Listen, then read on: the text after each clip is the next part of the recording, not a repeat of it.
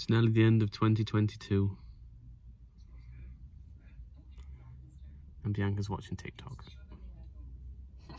Ciorba di legume. And we're going to Thor's Tipi Bar. Um, and then we're going to go to the cathedral to see some fireworks. And then we're going to go into 2023.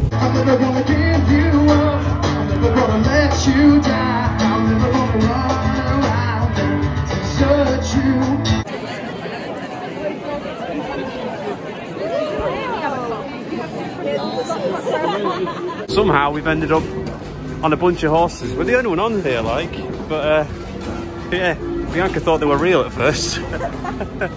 so just to let you know, me and Bianca were the only two on that thing. And as soon as we came off, everyone suddenly wants to go on. We made it look we made it look so exciting that everyone else suddenly wants to go on.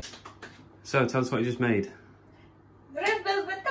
Red velvet cupcakes. Red velvet cupcakes. These look freaking delicious.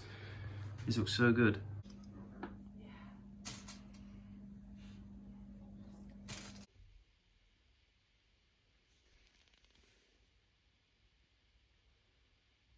So it's your final day in Lincoln. How do you feel? Any any last comments? Any last memories in Lincoln? I'm gonna miss it. Yeah. What are you gonna miss most? Brinkley. Brinkley's the dog, just for context.